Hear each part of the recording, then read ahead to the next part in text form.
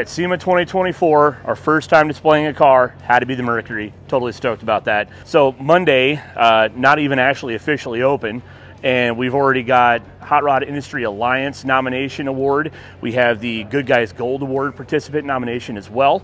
Uh, we're also uh, Best on RS and Battle of the Builders all at the same time with this car. So uh, having a great time. Uh, can't wait to see what tomorrow brings. It's the first day of the show.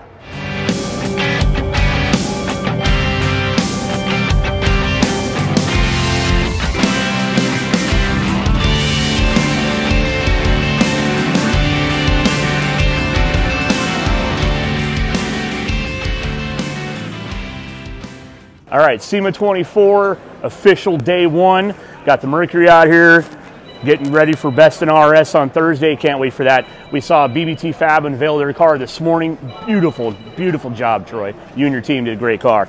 So today we're uh, just hanging out, checking out a bunch of cars, uh, seeing what SEMA has to offer. Let's go check some stuff out.